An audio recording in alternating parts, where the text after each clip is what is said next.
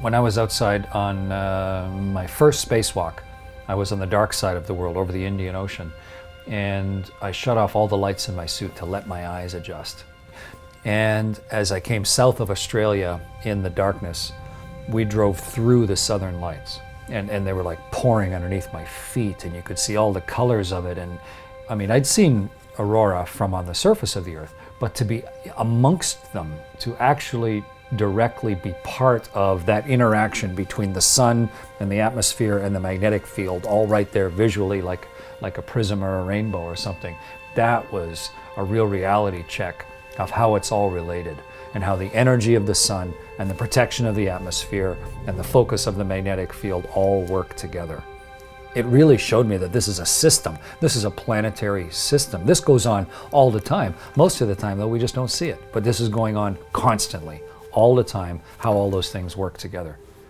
From orbit, you get that type of perspective. You see the fact that this is a complicated system that is subject to a lot of influences that is going on all the time. One of the influences that is affecting Earth itself, of course, is uh, the beings that are living on it. Volcanoes erupting, but also the, uh, the plant life and the animal life. And over the last hundred years, I mean, gosh, our numbers have, have, have, rocketed until 7 billion of us are all simultaneously exhaling and eating and turning on our lights in our house and starting up the engines in our cars. Obviously, that has an effect on the planet, in amongst all those other things happening. You can see some of those effects from space. You can see with your naked eye. If you come across Mexico City or Beijing, the pollution is visible from space. It's like a gray, ugly smear on the, on the surface of the world. That is man-made local climate change.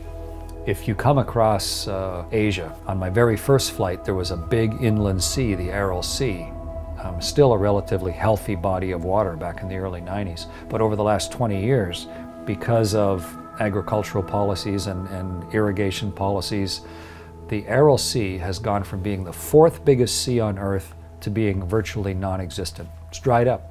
And we did it on purpose as a species. We made a conscious decision to allow the fourth biggest sea in the world to turn into a little uh, stinking puddle what used to be a shoreline is now empty sand and the remains of the fertilizer that were, that were drained into that, that sea for decades. We're obviously changing the climate at a global level. The key is who is going to be the person that's going to decide to change something. We can't wait for some other person to change it. They don't have the imperative to do it, especially if there's someone that we elected if we elected, they're just our representative. And the real motivation comes to each of us individually. That's who has to make the change. You can't say they or him or her or it. It's us or me or I that has to make the change. And it's, it's not going to be perfect. And it's going to have to get a little bit critical before people are truly going to feel enough pain or enough compunction to actually change what they're doing.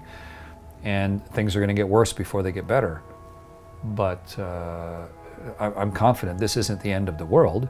This is just a problem that we're facing that is going to change things, uh, but we're going to have to figure out a way to deal with it.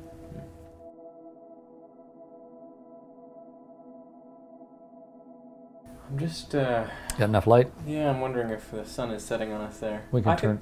Could, yeah. The sun is not only setting on us.